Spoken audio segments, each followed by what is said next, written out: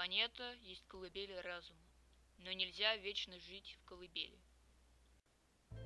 In these words, a man of progress described the motive for spaceflight. He had written numerous scientific papers, some absurd and others genius. A humble Russian teacher, Konstantin Tsiolkovsky influenced the achievements of the space age and beyond. At age 10, young Konstantin contracted scarlet fever. This left him nearly deaf for the rest of his life and forced him to leave school. Self taught, Tsiolkovsky took interest in Jules Verne's science fiction and fantasy novels early on, leaving him to look at the skies for the rest of his life. Konstantin's desire to learn pushed his father to send him to Moscow for further studies at a college. Tsiolkovsky attended open lectures from time to time with the use of an ear trumpet, although most of his learning he completed in the library of the Rumyantsevsky Museum. Tsiolkovsky's studies were aided by Nikolai Fedorov, a well-known philosopher who worked in the library. Studying in Moscow lasted for three years until Tsiolkovsky was 19. After a couple of years of tutoring and work with physics, in 1876, Konstantin Tsiolkovsky took an exam and qualified for a lowly teaching job in Borovsk, a town near Kaluga, Russia. Subsequent to 1884, Tsiolkovsky began to focus on aeronautics and spaceflight. Two years later, Tsiolkovsky published an essay on the theory of a full metal dirigible. This idea was very developed, but highly unlikely to be successful due to lacking engineering at the time. The purpose of a full metal dirigible was to prevent airships from spontaneously burning up. At the time, airships were developing quite well and had large potential. In 1894, Tsiolkovsky requested a grant from the Russian Technical Society's Aeronautical Department in order to construct a model. The society turned down Tsiolkovsky's request and declared that the project cannot have any considerable practical importance. One of Tsiolkovsky's friends and supporters, Paul Canning, helped propagate the idea of the full metal dirigible. Due to his initiative, a group of dirigible supporters was formed, which published a leaflet signed by 14 engineers and various well-known scientists and scientific society directors, showing support for Tsiolkovsky's dirigible. The publication of the leaflet in 1904 helped improve Tsiolkovsky's reputation in Kaluga and its surrounding towns. Many skeptics were now enthusiastic about the idea, which motivated Tsiolkovsky.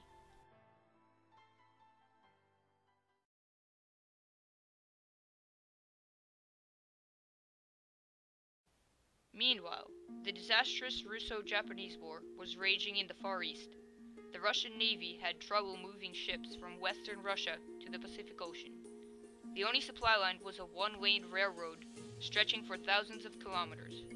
Tsiolkovsky offered the dirigible project to the Russian government as a solution to this problem, proposing to use the metal dirigibles as a means of transporting supplies. To further influence the government, Tsiolkovsky wrote two scientific papers, The Simple Doctrine of the Airship and Its Construction, and Protection of the Aeronaut. In his pamphlet, Protection of the Aeronaut, Tsiolkovsky argued Controlled metallic aerostats of gigantic proportions will be more useful than steamboats and trains. Despite Tsiolkovsky's arguments and a large collection of followers, the government ignored his ideas, even after the war was over. Contrasting to his numerous failures in attracting funding and government interest, Tsiolkovsky successfully brought to life the idea of a wind tunnel. In 1897, Tsiolkovsky constructed the first Russian wind tunnel. The Academy of Sciences in St. Petersburg was interested by this idea and granted Tsiolkovsky money so that he would further develop the wind tunnel. Tsiolkovsky's theories and development of the full metal dirigible and the wind tunnel laid the path for the cosmos. His decade-long work allowed him to understand physics and educate himself further.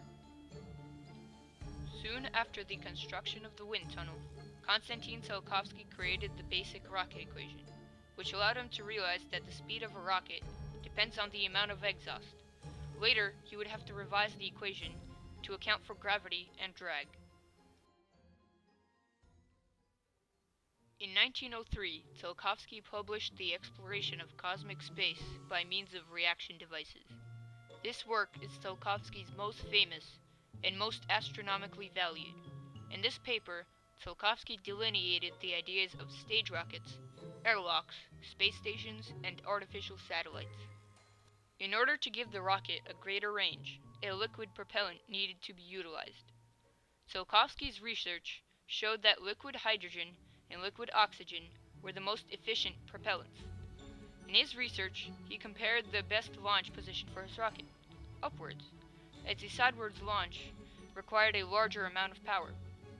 This also allowed him to conceive the optimal shape for a rocket. As a rocket used up fuel, some parts would become unnecessary and would add extra weight to the rocket. This search soon brought him to the idea of stage or step rockets rockets that would lose mass as they flew on. The initial rocket would be gigantic, as the size would allow for a large supply of fuel, allowing to reach the first cosmic velocity and break the Earth's gravity. Parts that would become empty and unneeded after launch and during flight would break away from the ship, lowering the mass of the rocket and increasing its speed.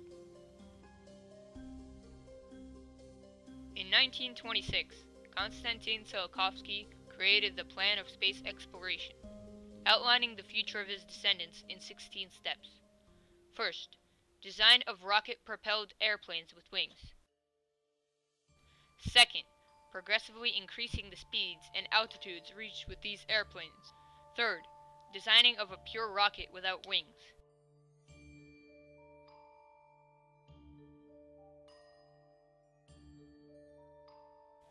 Fourth, developing the ability to land on the ocean surface by rocket. Fifth, reaching of escape velocity and first flight into space. Sixth, lengthening the rocket flight time into space. Seventh, experimental use of plants to make an artificial atmosphere in spacecraft. Eighth, using of pressurized spacesuits for activity outside spacecraft. Ninth, making of orbital greenhouses for plants. Tenth, building of the large orbital habitats around Earth. 11th, using solar radiation to grow food, to heat space squares, and for transport needs throughout the solar system. 12th, colonization of the asteroid belt. 13th, colonization of the entire solar system and beyond. 14th, achievement of individual and social perfection. 15th, overcrowding of the solar system and galaxy colonization. 16th, the sun begins to die, and the people remaining in the solar system's population move to other solar systems. Great scientists based their work on his theories and papers. Robert Goddard launched the first liquid-propelled rocket in 1927. Wernher von Braun designed the first rocket to leave the atmosphere and arrive in space in 1944. Mikhail Tikhonravov sent the first artificial satellite, Sputnik 1, into orbit, planning to time the launch with the 100th anniversary of Tsiolkovsky's birthday. Konstantin Tsiolkovsky, an influential scientist, a pioneer of the space age, deserves the commemoration from all people in our world and all future generations.